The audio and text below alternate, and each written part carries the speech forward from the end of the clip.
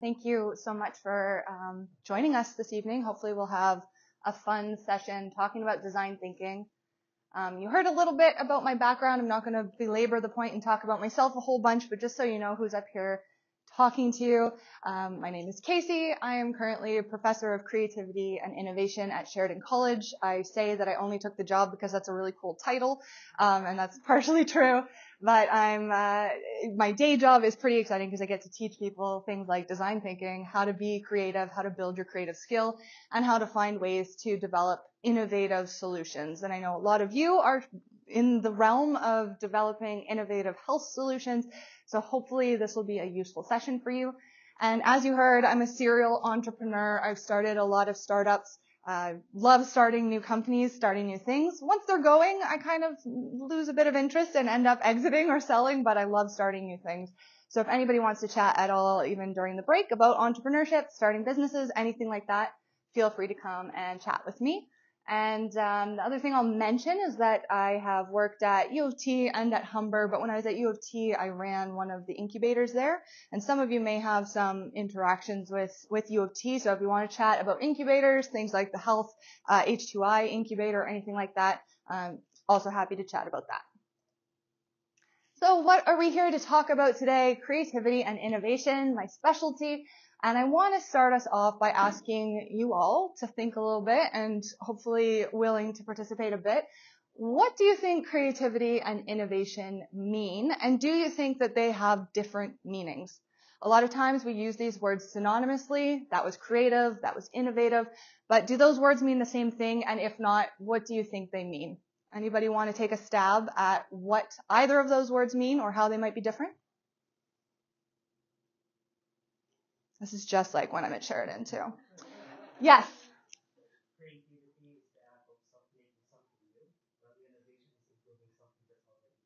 Okay, so we've got creativity is making something new, but innovating is adding to or iterating on something that's existing. Maybe, maybe one suggestion. Do we have any other suggestions we want to throw on the table about these two words?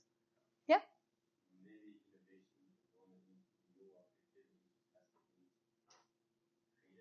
What was the innovation part? Sorry? Has to be new, but creative just has to be creative. Tell me a bit more. What does it mean to be creative then? Not sure? Okay. Anybody else want to take a stab at what it means to be creative? Yes?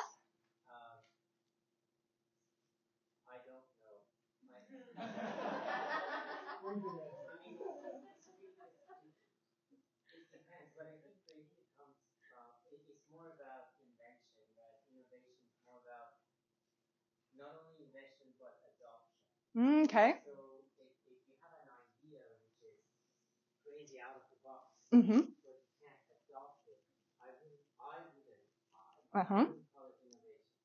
So microwave has been adopted. It's, everyone at to have a microwave I like where you're going with this. I like where you're going with this. For those at home, we're saying maybe creativity is about coming up with things that are novel and out of the box, but innovation is about adopting those ideas. Yeah?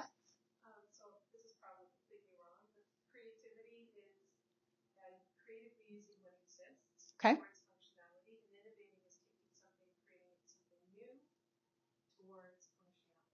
Okay, so creativity being, oh, sorry, what was the creativity part again? What did you say? Using existing, Using existing things, but innovation being generating something completely new. All right, well, I will give you now, now that we've had a bit of a discussion and we thought about it, I'll give you the scholarly definitions that we use when we're measuring and testing for creativity and innovation. Um, and you can see if you agree or not. Um, but creativity is defined as ideas that are novel and useful. So as long as something meets those two criteria, novel and useful, you can say it's creative. So a novel idea meaning something unique, outside the box, something that's different. I think I heard off the wall or wild, things like that. Um, that is one piece of creativity, so being unique. But the other piece that often gets forgotten is it should be useful. It should be something that can actually have meaning or exist I can think of, I don't know, a new animal that is half unicorn and half lion, but that doesn't really exist in the real world and it's not very useful. So creativity, the bar for measuring, is this creative? Is to answer, is it novel? Is it new? And is it useful? It really exists in the realm of the way you look at the world, the way that you think, the way that you approach things. So here's some of the other working definitions I've got. the ability to see things that aren't there, your imagination coupled with intent. It's very theoretical and it really exists in our minds. It's all about idea generation and a way of approaching things. Whereas innovation is defined as creativity put into action. So I did hear this theme starting to come out a few times. It's the idea of applied creativity or uh, creativity that actually gets adopted, to use that language. So you can have a great creative idea. You can have a brainstorming session, come up with a hundred potential uh, new inventions. But if you don't build any of them, no innovation has occurred. Creativity might have occurred, but no innovation has occurred until you've actually produced something that people can hold or see or touch or experience. So you can think of creativity as being a bit more theoretical. It's about ideas, approaches, ways of thinking, ways of doing. That is all about novelty and usefulness. And then once we take those creative ideas and we bring them into the real world and they actually exist in front of us, we've now done innovation. We can do our innovation by applying those creative ideas and building them and making them happen. And I think a lot of you are in the realm of trying to build things and make them happen. So we're going to talk about how do we do that? How do we come up with creative ideas and then actually build them? How do we see them come to life? And we're going to talk about that through the approach of problem solving methodologies, specifically for this session, design thinking. Can you put up your hand if you're familiar with design thinking? Is this something where, okay, cool, new to most people, love that. Uh, so we're going to talk about design thinking. Um, this is a problem-solving methodology that takes us from recognizing a problem to thinking of creative ideas to solve that problem, and then ultimately innovative solutions that we can build. So the idea of uh, uh, problem-solving methodology originated from this old white dude, as most things that we talk about do uh, originate from old white dudes. Um, this is Alex Osborn. He was an ad executive in the 1950s. Has anybody seen the show Mad Men? This is now getting a bit dated. Yeah, a couple people. used to be like all the rage, and now my students don't know what that is. Mad Men is a show, um, very popular show, was a popular show about ad executives in the 1950s. Alex Osborn was one of those guys. So his job was getting his agency together to come up with creative new ways to sell products, new ways to reach customers, new ways to create advertisements. And he had worked out a methodology that worked really well in his agency. He invented the word brainstorming. So if you've ever talked about brainstorming, you can thank Mr. Osborn for that word. And he had sort of started to formalize this process that really worked well for him and the people that they worked, he worked with to go from a problem to a solution to go from how are we going to sell more cigarettes to children, which seems to be the theme of Mad Men most of the time, uh, how are we going to do that, to here's a creative new way that we can do it. Here's some creative ideas. So he had worked out this methodology that worked pretty well, and he wanted to formalize this and spread it and study it and research it. So he partnered up with a guy named Sidney Parnes, who is a university professor, and together they formalized this seven-step process. You can check out the steps here. But basically this was a formalized step-by-step process that he said could result in a creative solution every time. If you just kind of went through these steps, you could go from problem to creative solution. So after they published their original CPS process, creative problem solving process, um, this idea took off and lots of other thinkers and authors took this idea and they tinkered with it and they made it their own. So now if you were to search, go on Google, look up problem solving methodologies, you will find tons of them. There are all sorts of them out there. They are all variations on this very first model, but some of them have more steps, less steps, different steps. And the one we're going to talk about today is design thinking, which I would say is by and large the most popular methodology used today. It still has some of the same kind of pieces as the original work of Osborn, but it has undergone lots of changes over time. So design thinking was made popular by an organization called IDEO. If you're not familiar with them, they, they teach uh, a lot of stuff around creativity and innovation. They teach design thinking. And they kind of perfected and started sharing this five-step model. So we're going to talk more about the steps as we go. But to give you just a very high level what we're talking about here, the five steps of design thinking are we start with empathy. Empathy, just like we use that word in everyday life, means understanding other people's experiences. So before we build anything, before we even think about building things, we need to understand the people we are building for. What do they want? What do they need? What does their lived experience look like? Once we have that understanding and we've gotten to know the people who we're creating for, we can define the problem more succinctly and then we move into ideation, everybody's favorite part. This is the brainstorming, the coming up with new ideas. And then once we've picked an idea we really like, we can prototype and test it. Um, prototype meaning build a very basic version of the idea and test it to see if it works. So this is kind of the bare bones of what design thinking is and what it looks like. And you might be able to see how this methodology tries to take us from problem through creativity, which you'll remember is coming up with ideas that are novel and useful, and into innovation, meaning we don't stop with an idea, we keep going and we actually build that idea and test it to see if it works in the real world. So we go from identifying a problem to coming up with creative ideas and then finally building and testing something by the end of the methodology. So, design thinking, a little bit more about it. It is both a process and a mindset. What do I mean by this? First of all, it is a step-by-step process. You can follow the steps. They're laid out for you. One, two, three, four, five. And theoretically, you could follow this like a recipe or a plan to get from problem to solution. But design thinking sells itself as a little bit more than that. It is a process, but it's also a mindset or a way of thinking, a philosophy about how we should design things, how we should build things. Does anybody know what this is a picture, picture of, aside from grass and trees and that? It might be, I don't know where it is. It might be Queen's Park. That's, I'm not sure. Oh, I think I heard it. What are we seeing here? Yes? Hand up? No? Oh! no wrong answers here. Yes? A desire path. That's right. And what's a desire path? Right. Where people actually want to walk. So this, I love this image because to me this really encapsulates what we're all about when we do design thinking. So at some point, wherever this is, let's pretend it's Queen's Park because I don't know. At some point, a designer made a decision that this is where people should walk. And they built a nice little pathway. They probably poured concrete or something down here. This is where you're supposed to walk. And then there's, I think it looks like a sidewalk or a road over at the top. And then people came along, human beings who are erratic and ridiculous, and they said, yeah, I'm not going to do that because my car is over there. So I'm just going to make a shortcut. Some people might say that people shouldn't do that. They shouldn't walk on the grass. That's bad. They shouldn't kill the grass. It looks ugly. But I would say this is an example of bad design. Whoever designed this walkway didn't understand human behavior. They didn't ask where do people want to go? Where are they trying to get to? What is the most direct route? My favorite story about desire paths is Walt Disney World. If you've been to Walt Disney World, before they made the walkways in Walt Disney World, they actually let people into the park there was no walkways, there was no fencing.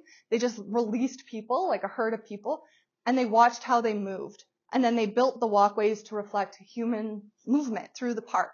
So that is uh, the mindset of design thinking. Design thinking says designers, we're not important here. Who's important is the people we're building for, the people we're designing for. And we want to have that philosophy or that approach to problem solving. So anything we're going to build, it is useless if it doesn't work for actual human beings, and human beings don't always behave the way we wish they would. They don't always behave in the most orderly of ways. So design thinking, yes, it gives us a step-by-step methodology. It also gives us an approach, a philosophy, a way of thinking about problem solving. It's also cyclical or iterative, meaning it looks nice and neat, step one, two, three, four, five, but when you actually go to do it, you find out it's not that neat and tidy. Often we need to go back, we need to repeat steps. Often we find out the idea we started with actually sucks and people give us bad feedback. We have to go back to the drawing board. So it ends up looking a little bit more like these diagrams all over the place. So yes, it can be a step-by-step process, but the intention is that we use the steps when needed, where needed. So if we find out we need to go back and repeat a step, that's totally okay, that's expected. And even once we have found an idea, we might need to go back, iterate, improve it, change it, so it's an approach that's meant to be cyclical or iterative. And finally, this is really the reason I think why design thinking is so popular. It's inclusive. The whole concept is that we are designing with and for people, people who actually need things. Uh, we start with the people who we're designing for, and we end when we have a solution that works for those people. And the best insights end up coming from understanding the people we're designing for. So yes, there's five steps to design thinking. You saw them. But I kind of break it down into three main phases. This is how I think of design thinking. First, we need to understand the problem. Then we need to find a solution. And then we need to take some sort of action to build or to test our idea. So I'm going to talk about it in these three phases. The first being understanding the problem. So empathize and define. This is where we start. How do we do this? What does this look like? Oh yeah, I like this little quote from Albert Einstein. This is just to kick us off here. Um, Albert Einstein said, if I was given an hour to solve a problem upon which my life depended, I would spend 40 minutes studying it, it being the problem, uh, 15 minutes reviewing it, and then five minutes solving it. This is my approach to design thinking as well. If we do the bulk of our work in this understanding the problem phase, the rest of the process is going to be smooth sailing. This is also our opportunity to be really creative. People think the creativity happens in the innovation uh, ideation stage, but I think a lot of the creativity actually happens here while, while we're empathizing with people.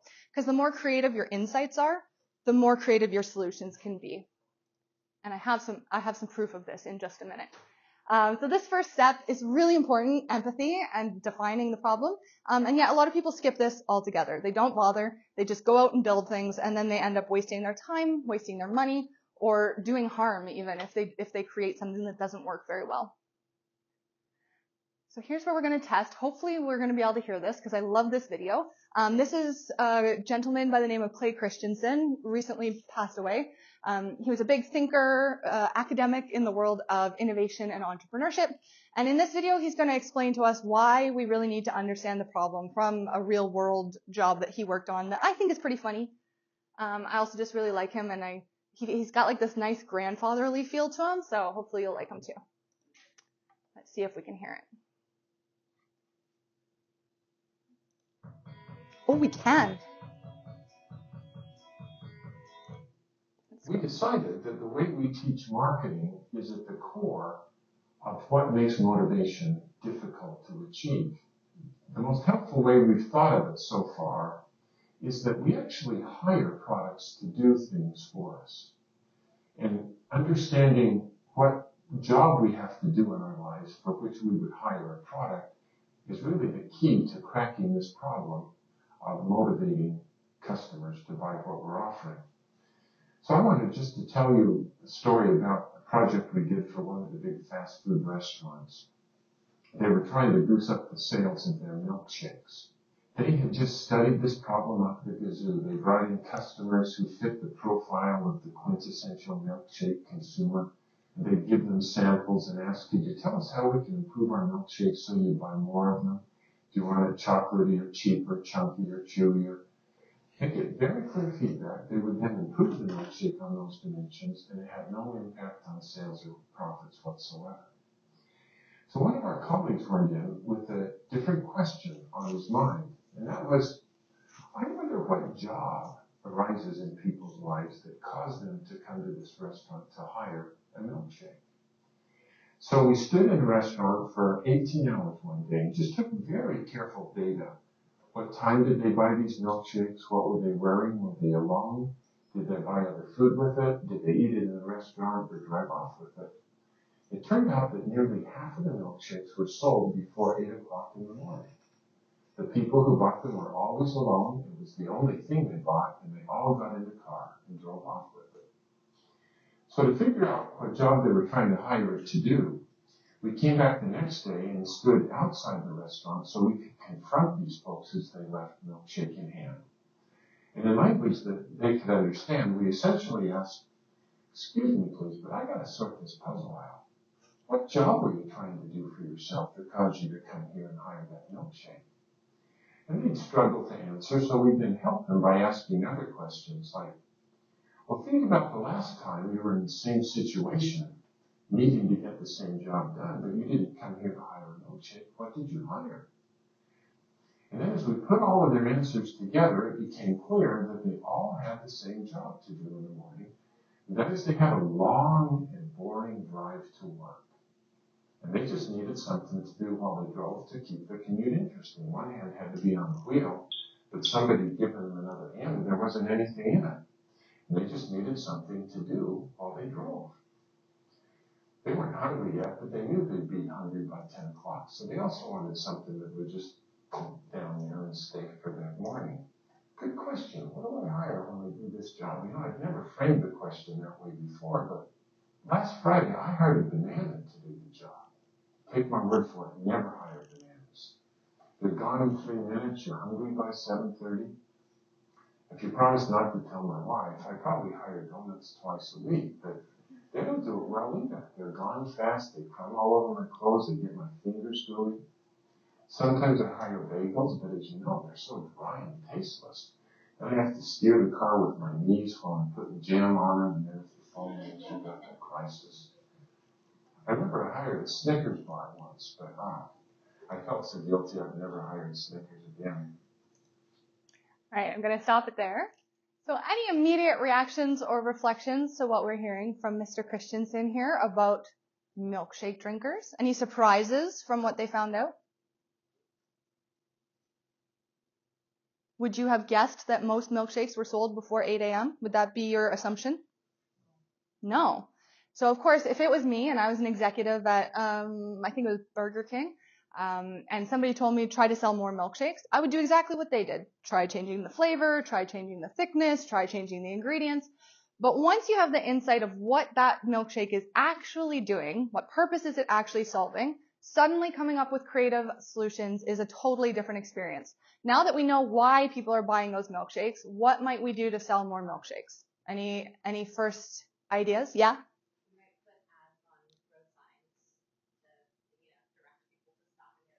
So we could put ads on road signs. We know they're commuting, so they're going to be in their car. Yep. Open at 6 a.m. Open nice and early for all those morning commuters.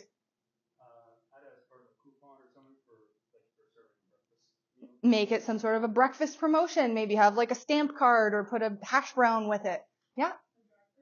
Have a drive-through, definitely. Ha- yeah, it sounded like they didn't have a drive-through here, so definitely have a drive-through because these people are coming through in their cars. Also, by the looks of it, this was filmed in like 1985, so they probably have a drive-through by now.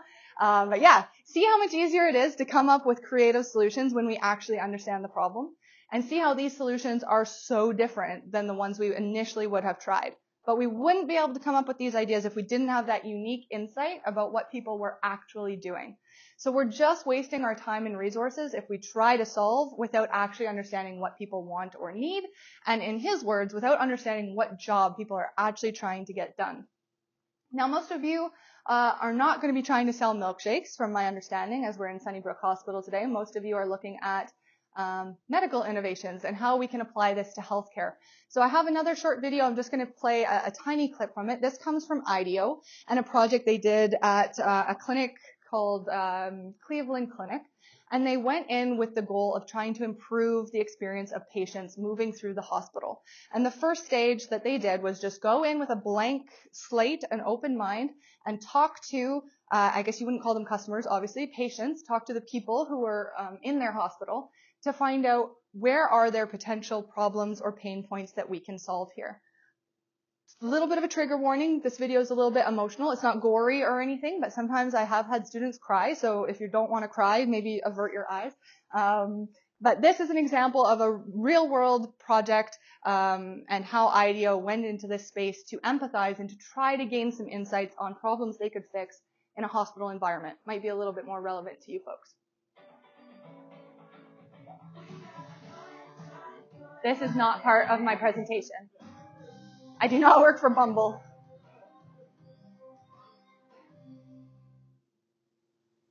Okay, here we go.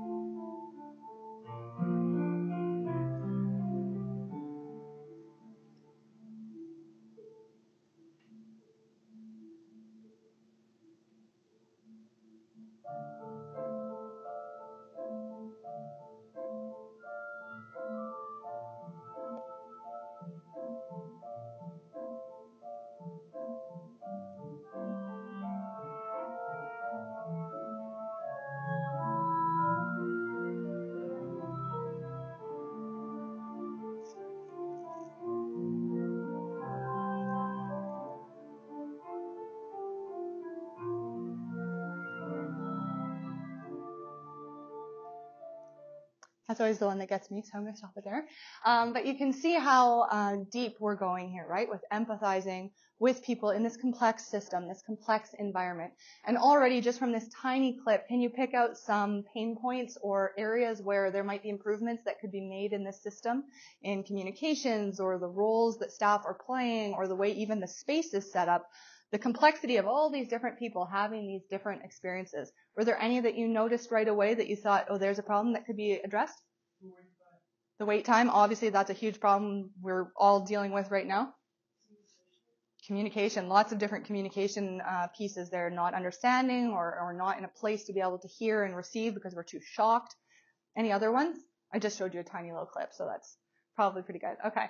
So this is what we mean by empathy. This is what we mean by gaining insights before we start solving. And hopefully those were some oops, helpful illustrations for you. No, gotta pause. Here we go. You can get a one dollar. Oh my goodness, what have I done? Or coffee or two dollar latte at A and W.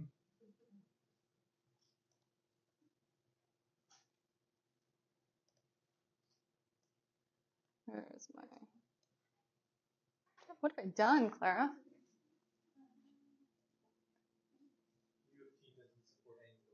No. Oh, there we go. It was just hidden.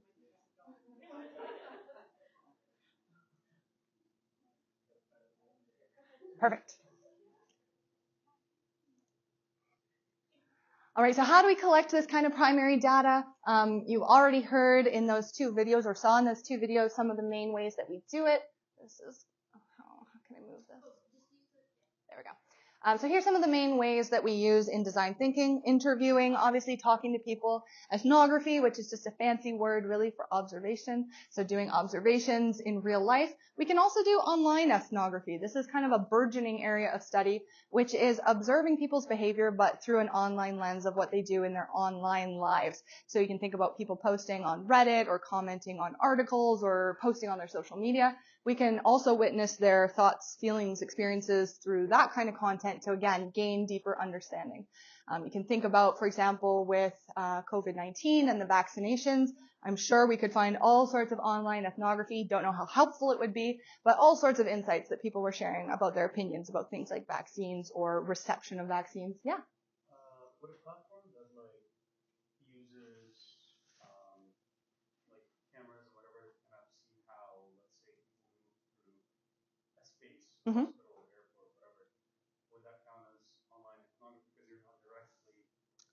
A good question. I think that would be just kind of straight on ethnography, but using technology. So watching the movement of people through space or watching how spaces are used from kind of a bird's eye view. Yeah, that would be like a form of observation. Um, I don't know if it would have its own unique name, but online ethnography is more about looking at what people are putting out there into the world um, in terms of sharing their thoughts, feelings, perceptions, which we all maybe do a little bit too much in the online world. These are the main modes we use uh, for primary data collection in design thinking. We typically stay away from surveys. They are not particularly helpful to give us these deep insights. We really want to connect with actual people. And you could see from that video that was done at Cleveland Clinic how deep we're getting to really get that human insight into what people are experiencing. So once we've gathered all this data, once we've talked to people, we've observed, we've hopefully understood why are they buying milkshakes or what is their experience like at the hospital, our next step is to define the problem. And the define stage, I think, is the trickiest one to get, even though it's quite quick and, uh, in theory, quite simple. But your goal is to take that big, complex, ambiguous problem that you started with and try to narrow it down to something that is actionable. In most cases, when we try to tackle something like hospital wait times that somebody suggested, um, we're not going to be able to solve that with one solution. We're not going to be able to just, you know, invent one thing and now there will never be another hospital wait time. And so what we can do is take that data we've gathered and try to find where can we have an impact? Where is there somebody who's having an experience that we can improve? We might not be able to solve all of it, but where can we put a frame around one piece that we can tackle? Something manageable, something actionable. So defining the problem is a bit of a science and it's a bit of an art. We're using data, so that sounds scientific. It sounds like something we could do, you know, just compute it and we'd have an answer. But it's also a bit of an art because we're trying to take this, uh, the insights that we're gaining from people, qualitative information, and we're trying to somehow boil that down and understand it in a new way. So synthesizing that data, it's pretty complicated. There's no one right way. We could all study the same problem in this room and we would all define the problem in a unique way because it would be based on what we learned, what we were able to gather from the data that we saw. But defining the problem, I'm going to give you a bit more of like a practical example to hopefully help you. So this is a problem that I see all the time. I work in higher education and we're always talking about our students need better mental health support. It's a big topic. It's in the news all the time, something we're trying to help. And the typical approach we end up taking is usually to just go with a hunch or an intu- intuition, uh, maybe do research, what are other colleges or universities doing and just copy them, maybe just go for whatever is the cheapest or easiest to implement. But what ends up happening when we do that is we get these bad surface level band-aid solutions. This is a tweet I saw that I thought was just a perfect illustration of this. Universities say, need help? Use our great mental health services. And those services are one golden retriever that comes to the library once a week, one therapist who's trying to serve 40,000 students, and a bathroom stall you can cry in if you need it. Not the best uh, way of addressing mental health. And I know a lot of you go to U of T, so I feel like that's relevant. No hate to U of T. Um, so what can we do instead? How do we not have this band-aid approach? So we would go out, we'd collect this data, we would talk to our students, we'd hear from them, what do you think, uh, what do you need, what are the gaps you see, what does a typical day look for, like for you as a student, uh, when have you needed mental health support, what did you do? We'd gather all that data, and then we would try to put it into a point of view statement that would help communicate what our user is experiencing. So our user, for example, students, need something. What did they need? What did we hear from them? And why do they need it? What is our unique insight we were able to pick up? So here's an example of one from when we actually did this study at Sheridan College. Uh, one particular user is commuter students, students who live far away from the campus and they're spending over an hour coming onto the school campus. And they said they have no community at the school. They feel completely detached from it because their commute is so long. They can't join any clubs. They can't do any sports. They feel no connection to their school. So our point of view statement here could be commuter students who are traveling to school need other ways to feel connected because they can't join clubs, they can't join um, sports and do those kind of typical things, not accessible. So this can give us a really actionable part of that problem. I probably can't solve mental health for students. It's probably just too big and ambiguous, but I might be able to solve this. I might be able to find a way to help these specific students. So from this point of view statement, we can turn it into a question that allows us to start thinking of ideas. We want to turn it into a question that is insightful, meaningful, wide enough that we can think of lots of potential solutions, but specific and actionable enough that we can actually try to address it. So here's an example I came up with for that particular point of view. We heard about that student and what their point of view was. So we might ask something like, how can we make students feel just as supported and connected when they're at home as they would if they were on campus connecting with friends, as an example. From here, we're in a position where we can start coming up with ideas. If I just say to you, solve student mental health, you're probably going to look at me and your jaw is going to drop and you're going to be like, I don't know. But if I say to you, how can we make these students feel supported when they're at home so they feel like they're on campus? Suddenly we can start thinking of ideas, right? This is something we can actually address and tackle. And that takes us to ideation, the next stage in our design thinking process. This is where we start generating and evaluating ideas. This is divided into two phases, divergent and convergent thinking. Does anybody know what divergent thinking means? Is this a word we know? Usually somebody says there's a movie called Divergent. That's true. What is divergent thinking?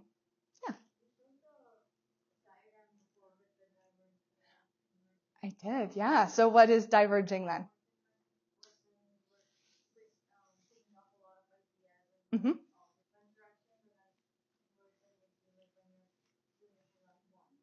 Great definition. Diverging is when we're going in lots of different directions, spreading out. Converging is when we're narrowing in on one thing. And so here's a little illustration of that. We go through a phase where we are divergent. We're thinking of lots of potential ideas. We're making lots of opportunities. And then eventually we have to converge and pick the best one. So these are two different phases and two different types of thinking that we engage. Divergent thinking was first defined by a guy, again, old white dude, I told you, uh, J.P. Guilford, again in the 1950s. This is really when creativity and innovation research started. This was a time when the economy was radically changing. People were moving from kind of blue collar labor jobs into more um, desk jobs. And they thought that the future of the economy was going to be in creativity and innovation. They still think that now. That's still something I hear all the time But they thought that was the way of the future. We had to make sure our students knew how to be creative. And so J.P. Guilford came up with this idea that we need to learn how to be more divergent. We need to learn how to start from one starting point and come up with lots of diverse ideas. And he came up with ways to test your ability to do this. He came up with different measurements to be able to assess how divergent you are. So we're going to give it a little try, just a little baby try. This won't be the real test, but we'll do it a little bit together here. So we're going to try to be divergent. And the goals of divergent, uh, being divergent is go for qu- quantity over quality. We're not judging the ideas. Bad ideas are cool. We're good with that. We're not going to worry about being judged. We're not going to worry about being silly and say our ideas are bad. We're okay with that.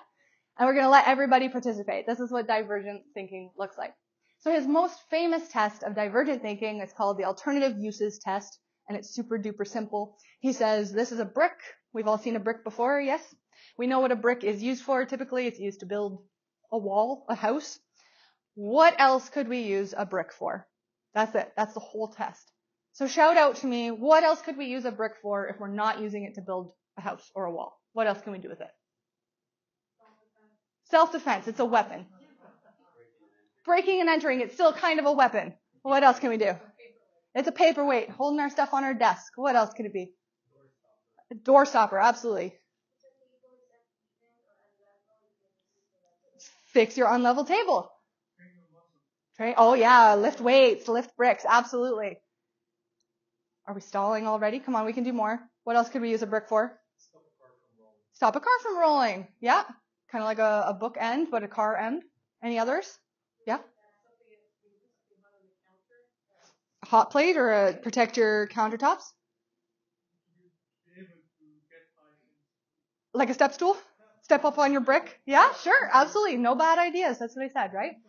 All right, so this is an illustration of his alternative uses test. And you would sit down and you'd get a certain amount of time to do this. You'd come up with as many ideas as you could, and then he would score you across these metrics. Fluency, how many ideas could you come up with in that amount of time? Flexibility, how many different conceptual categories did you kind of think of? When I do this with my students, everything they say is a weapon. They're going to smash a window, they're going to smash a person, they're going to smash all these things. Um, not the most flexible. Hopefully you can think a little more flexibly. Uh, originality. Did anybody else think of the same idea you did? If you're the only one who thought of it, pretty original. If everybody thought of it, maybe not so original. And elaboration. How elaborate is the idea? How far did you have to go from the original brick to transform it? So one example of that would be, what if we break the brick down, turn it into dust, then we add some water and glue, then we form it into a clay, and then we use that clay to make a sculpture? That's a very elaborate idea, right? A little bit more elaborate than, than paperweight or, or doorstop. So this is how we would measure our divergent thinking. And this is the first step in ideation. Let go of judgment, quantity over quality, no bad ideas, just let them all flow, trying to be as flexible and fluent and original as possible. And so divergent thinking kind of like gets all the praise and everybody thinks that's what it means to be creative is to be divergent. But remember all the way back to like slide number one, creativity is not just about being unique. It's also about being useful.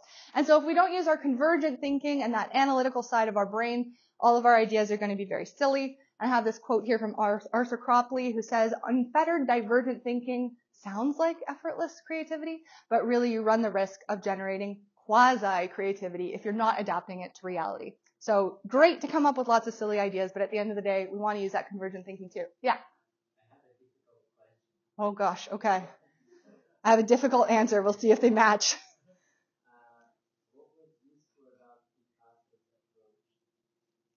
What was, so the question is, what was useful? What was useful about Picasso's creativity? Anybody want to take a stab at that? Take the heat off me. Mm-hmm.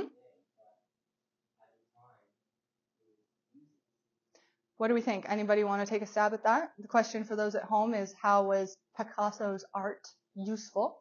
Anyone want to take a stab? Yeah. Sure. So he started a new art form, which you could maybe say is, is useful. Yeah. Could be, yeah. So is, is pure entertainment uh, a form of usefulness?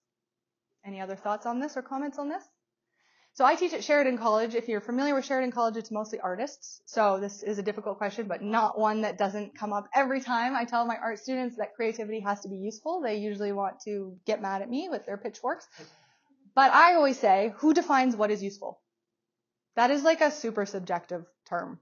If you think it's useful or it's useful to you, then perhaps it is useful. And people pay a lot of money to go to art galleries and look at art that I may not think is super useful, but they're getting something out of that, right? So I think that useful should be taken with a grain of salt. Um, but also when we're talking about this form of creativity and we're talking about moving towards innovation, then the usefulness piece becomes a little more um, necessary because we're talking about things that are going to be useful in the real world. But thank you for the question and thank you for the point, and hopefully that somewhat addresses it. Um, so convergent thinking is all about finding the best idea taking, um, making sure did we take all the information into account, being critical, thinking about things like is there a bias here? Am I um, am I potentially biasing my idea, or does it actually work? And it helps us stay on track, helps us remember what we're here to do. So these are two distinct phases. We use them all the time without even thinking about it. We move between divergent thinking and convergent thinking, but we can make the active choice to separate them out and, and say, okay, right now I'm going to just be divergent. I'm not going to be judgmental. I'm just going to let it go. And then now I'm going to be uh, more analytical. I'm going to judge the ideas and apply my, my uh, criteria to them. And then remember, it's cyclical. So whatever idea you come up with, you can always go back and diverge again and think of ways to make the idea even better. So there's not like a one shot, think of all the ideas, judge them, and you're done. It's a cycle. We can go through it over and over until we're happy with it. So then the last step, prototyping and implementing. This is where we actually take action. And I know we're getting close to time, but I think we're going to be okay. So what does prototyping mean? Prototyping is when we build a very basic early version of whatever it is that we want to make or whatever it is we want to bring into the world. Lots of different ways we can prototype. These are the main ones that we see. Low and high fidelity prototypes are what most of you are probably thinking if you've ever seen or pictured a prototype. A low fidelity prototype is like a mock-up, a sketch, a diagram, something that helps you communicate what your idea is. It's not built yet, it's not real, but at least it helps you illustrate it. A high fidelity prototype, this is when we actually start building the thing. So we're using 3D printers, we're using cheap materials to build a basic version, or if we're making software, this is like our beta version, our first kind of usable, testable version of our software. But not all ideas can be physically built. Some ideas are process or service based. Some ideas we don't have the technology to build. So what do we do then? If the idea is service based, for example, how do we improve uh, navigation in the hospital? How do we help make sure students are able to find this random room in the middle of the breast imaging center? How do we do that? We can't really 3D print uh, a test sample for that. So instead we can run what is called a pilot. This is basically a small version of your eventual service idea where you test it out on a small scale, see if it works or if it doesn't, get feedback, and then improve it or not, decide to drop it. And what if we don't have the technology yet to build what we want to build? We have a great idea, but we don't know how to make it. We don't actually have the technology. Then we can do something called Wizard of Oz testing. This is my favorite. This is where we lie to people. My favorite example of this is IBM. IBM had the idea of making speech to text devices long before this was a thing. They thought, okay, should we invest in the technology to make devices able to take speech and convert it to text? They didn't want to invest a whole bunch of money into building the technology if nobody would buy it. So what did they do? They invited people in and they told them this device can convert your speech to text. Just talk to it and it'll turn it into text. Try it for a day and let us know what you think. And I say, okay. So they sat down and they're using their device and they're talking to it. Well, behind the curtain is somebody madly typing away, transcribing what they're saying. So the computer's not actually doing it all. They think that the computer's doing it, but really it's a human being behind the curtain. That's why we call it Wizard of Oz. And the human being is the one manually inputting the text. At the end of the day, IBM says to the people, what'd you think? Did you like it?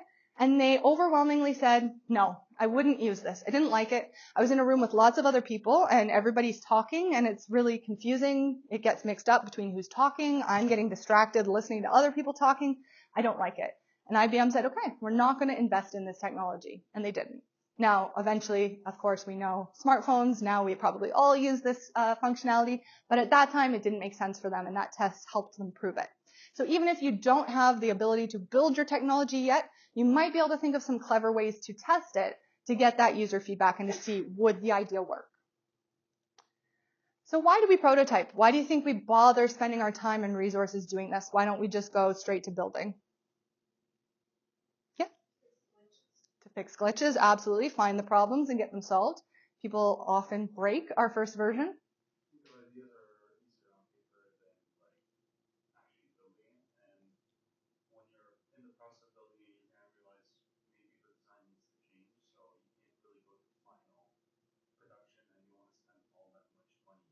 Absolutely. We don't want to spend our time and money. Yes, if it's not going to work, we don't want to spend all of our time and money. We want to fail fast.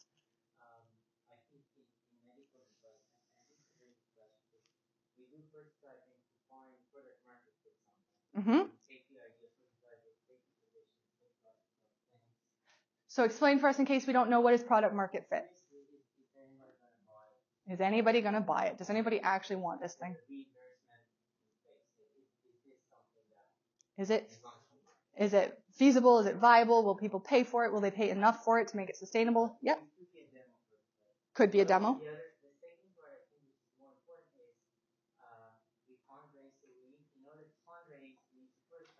Uh-huh.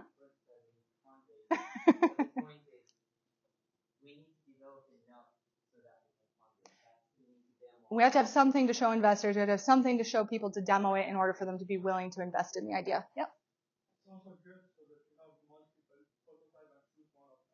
Yeah, so we can test out different things, see what works, what doesn't, and make a final decision. Uh, I was going to say, well, it could be used as a marketing tool so it show its people. Mm-hmm. I think that also helps you in the whole planning stage, so you're able to kind of publicly, like, well, I don't know, let's say, first. Mm-hmm. Uh, but also from that idea of you can have multiple prototypes, it can also result in you having multiple products. Yeah, it could if you find out. Mm. Yeah, so that prototype could show you what is most needed in this product. Maybe some of the features aren't needed. Maybe we can use them in other prototypes. You're all geniuses. I think you said all the things that I suggested um, to help us communicate. It's a good communication tool so we can show it to people. Helps us fail as quickly and cheaply as possible. We don't have to invest as much resource. Helps us test out the possibilities and helps us test product market fit or user approval. Do people even actually want this? Um, my startup, Hope Pet Foods, which um, was mentioned very briefly at the beginning, we we make alternative pet foods out of alternative ingredients that haven't been used for pets before. And when we went to make our first batch of this food and we went to a manufacturer, they said the minimum order we could do was four tons.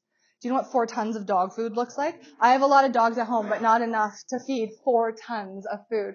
And so we were like, okay, we'll come back when we know that A, people will buy it, and B, we know our formula works. So we went to a university made a very small batch, tested it, gave it to dogs, did all the stuff we needed to do to make sure it was healthy and nutritious.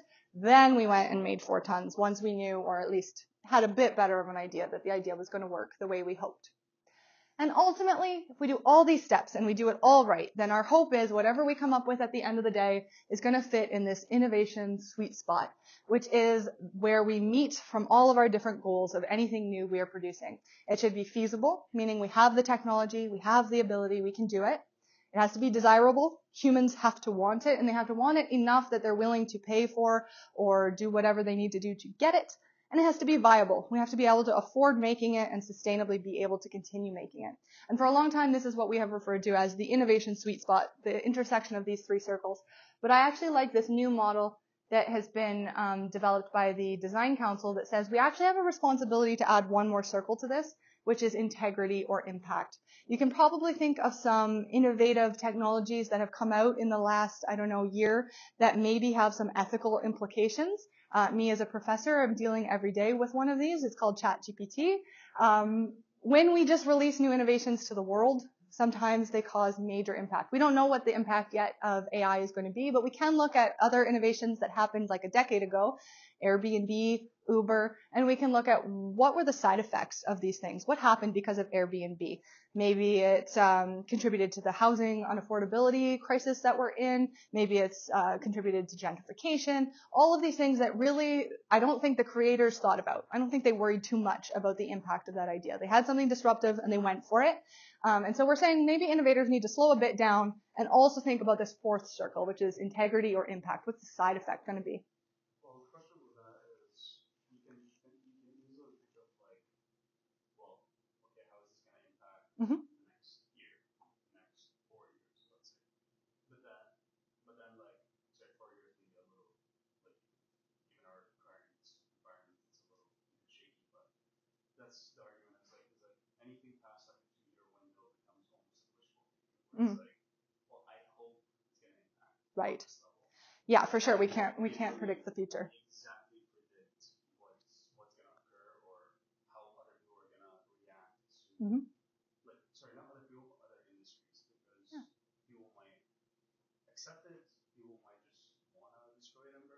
so it's a great point. Can we predict the future with perfect uh, clarity? Of course not.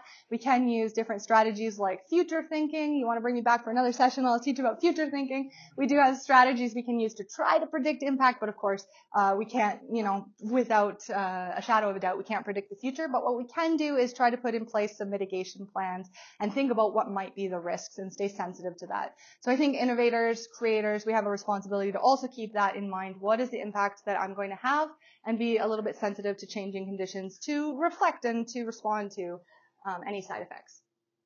And that is, okay, not bad, five minutes over. That is the lecture portion of my talk. I think we're going to take a break and have some refreshments and then we're going to give this a try. We're going to do like a little design thinking mini boot camp, uh, go of it. So, um, we're good to go for some food and refreshments? Yes. Okay.